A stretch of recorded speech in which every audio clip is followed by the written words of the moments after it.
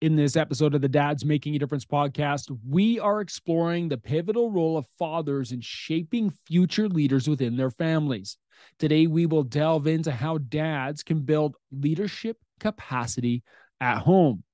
Let me start with a story. When I was a kid, my father always had this unique way of turning everyday situations into lessons in leadership.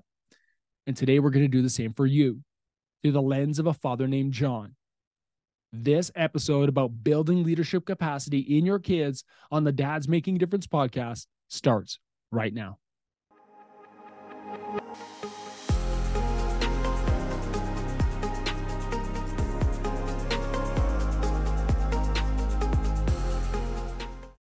Hello, my friend. Welcome back to another episode of the Dads Making a Difference podcast. My name is Cam Hall.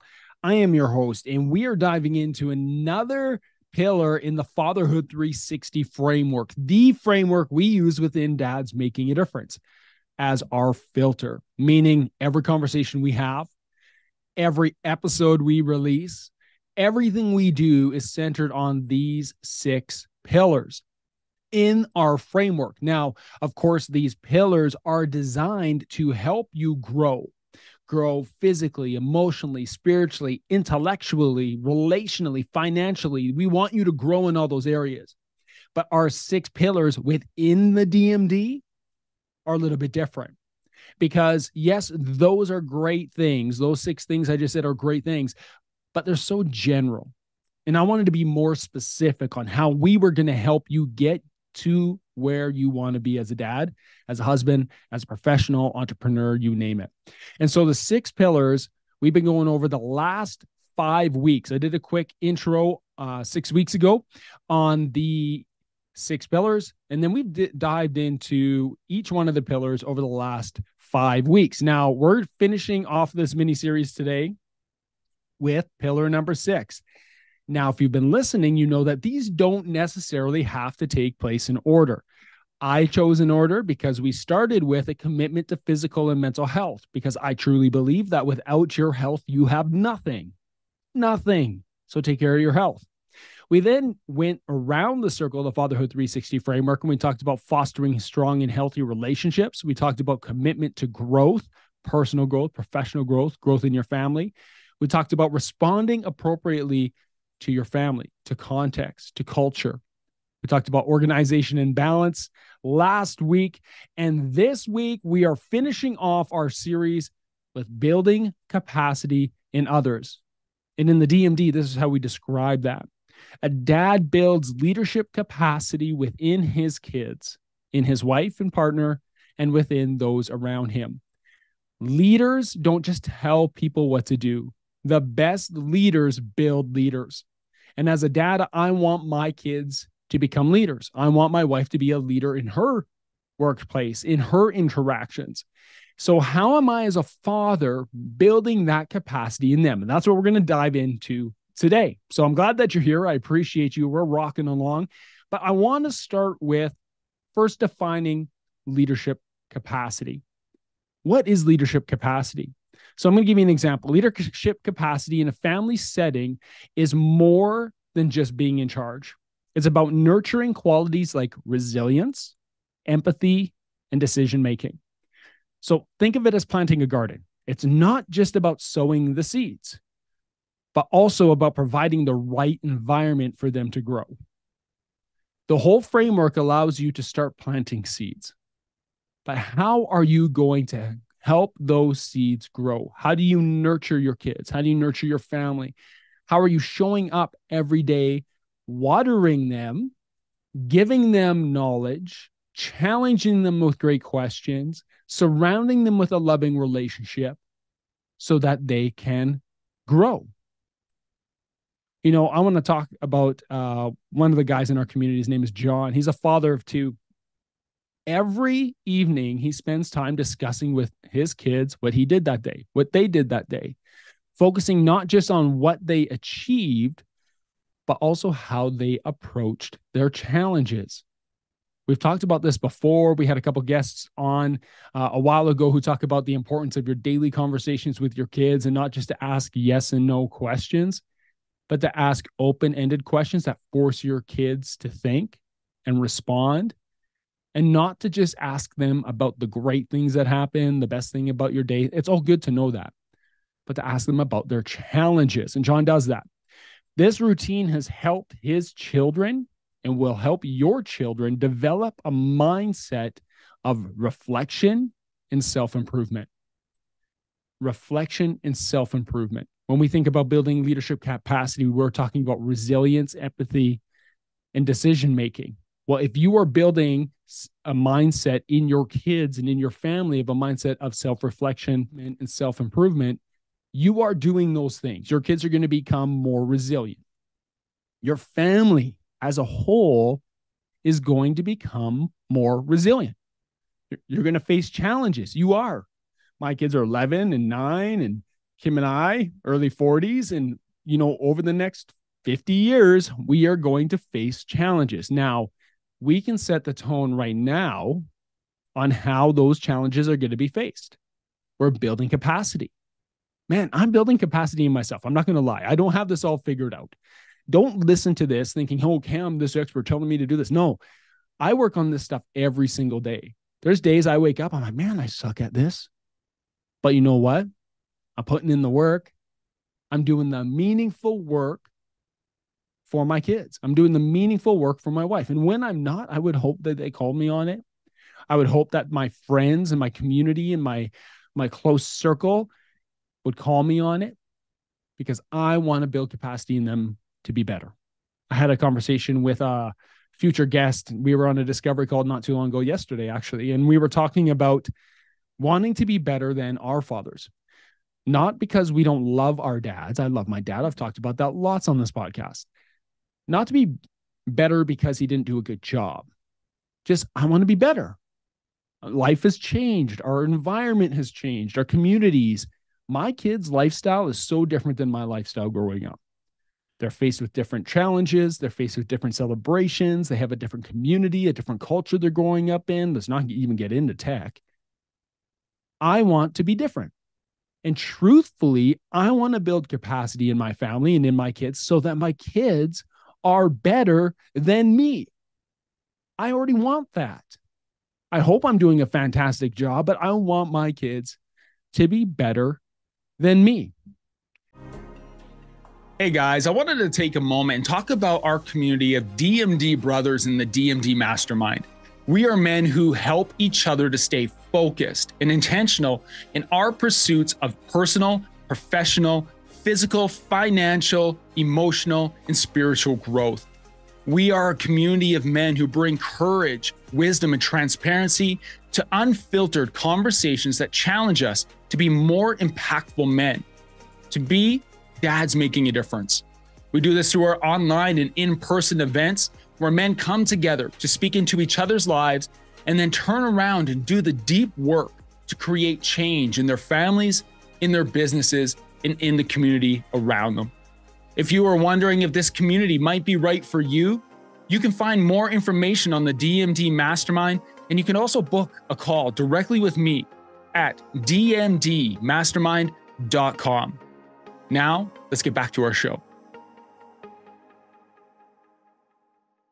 So, as we're building leadership capacity, we're talking about building things, qualities, remember resilience, empathy, decision making, those types of things. We need to take some things into consideration. We need to consider on how we interact and impact the different members in our family. So, in our family, we have four family members. I have a pretty good understanding on how I impact myself. That's why I've reached out, surrounded myself with a community because I know on my own, I'm not very good at it. Now, I have to understand that my wife and my kids will respond differently to the things that I ask, the things that I do, how I show them, how I model. So we need to understand the impact on different family members. So, for example, let's go back to John. So, for his partner, John's supportive approach creates a shared leadership model at home. The same might be for you. A supportive approach creates a shared leadership model. They make decisions together and they ensure that everyone feels valued and heard. So they work together, him and his wife, to make sure that their kids feel valued and heard. That's important. How many times in your life have you not felt valued or heard? I can put my hand up. I know I know you can. In those moments, how open are you to direction? How open are you to suggestion? How open are you to following someone for an example? Not very open. So John and his wife, they work through this supportive approach to create an opportunity for shared leadership. They make decisions together, they make their kids feel valued and heard, and his children learn from this dynamic and they understand the importance of collaboration and respect in leadership, building capacity. So we've talked about so many things. I want you to keep these things straight and you can jot them down, come back to it. So far, we've talked about what? We've talked about resilience. We've talked about empathy. We've talked about decision making. I also talked about a mindset of reflection and self improvement. Understanding the impact on different family members helps your kids understand the importance of collaboration and respect. These are the leadership qualities that we want to st- start to see being built in our kids. That's what we want. So, as you're building in your family this idea of self leadership for you in your family, building relationships and self relationships with your kids, it's important to understand that everything you do will have an impact on someone different in your family.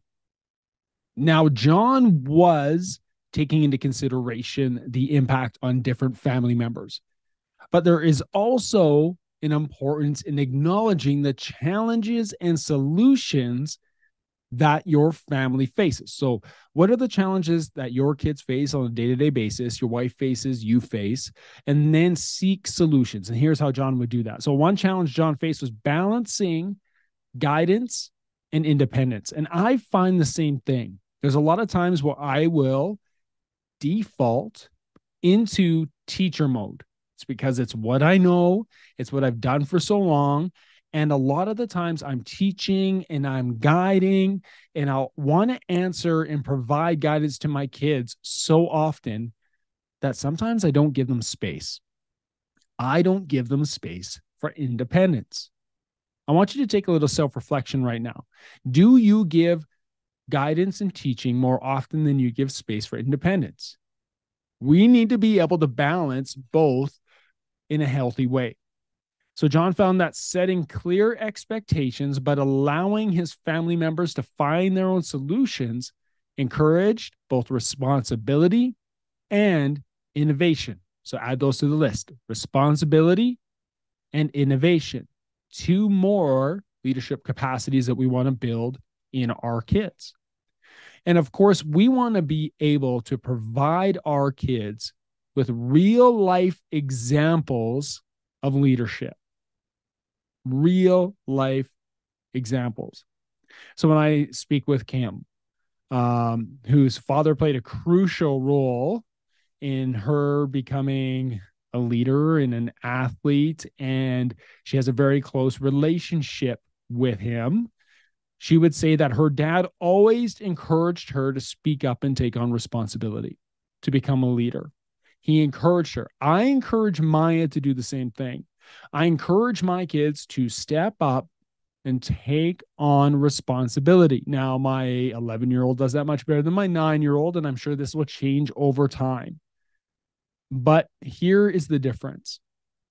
Just like Kim's dad, and just like me, I don't want to solve my kids' problems for them. Instead, I want to guide them. I want to be the guide in their story, not their hero. Now, hey, don't get me wrong. There's times where dad needs to step up and dad needs to be the hero. Okay. And I'm okay with that. You step up, you be the hero. We need to do that sometimes. But when it comes to building leadership capacity in our kids, we need to take a step back and we need to let them build independence so that they can be the hero and we be the guide. So I want to reflect on just what we've like flown through in the last couple minutes. Okay. So, first, we wanted to define leadership capacity and what that looks like. So, what does it look like to define leadership capacity? And we find that defining leadership capacity is not just about sowing seeds, but nurturing and helping those seeds grow in our kids.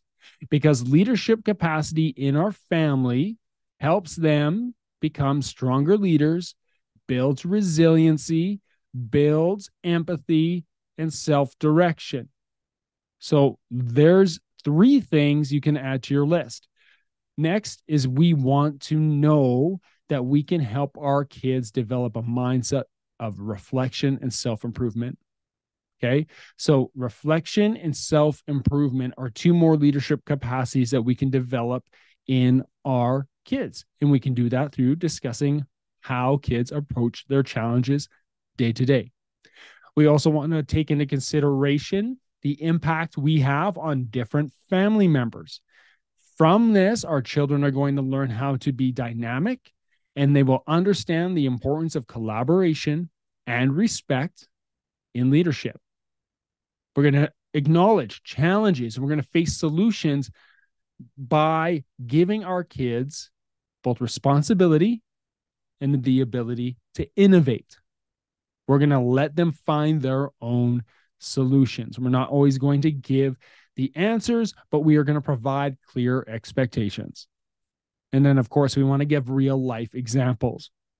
So, not solving problems for our kids, but allowing them space to struggle, to have challenges, and to grow so that they know that you're there to guide them, but they can be the hero in their story. We want them to be able to have confidence in stepping up to take on responsibility. So, in wrapping up, remember that building leadership capacity is a journey, guys. It's a journey. We are all working through this. It's not just for the father, but for the entire family. And it's about creating an environment where every member can grow, contribute, and lead in their own unique way. So, here's my challenge to you What steps will you take this week to foster effective leadership and build capacity in your family. I want you to take a moment, reflect on this episode, go back, review the last six episodes, guys. These six pillars in the Fatherhood 360 framework are going to get you started off in the right direction when it comes to becoming a dad, making a difference. If you want more information on the F360 framework, go to dmdmastermind.com, click on the coaching tab, scroll down, you'll see the information there. If you are struggling, if you are seeking guidance and maybe just a little bit direction, hey, set up a call with me. Go to www.callwithcam.com. Let's jump on a call. Let's get you pointed in the right direction and let's look at which of these pillars in the framework you need to be focusing on right now. I appreciate you being here. Thank you for listening to this episode of The Dads Making a Difference. We return next week back with another amazing interview from another amazing guest. We'll see you next week on the Dads Making a Difference podcast.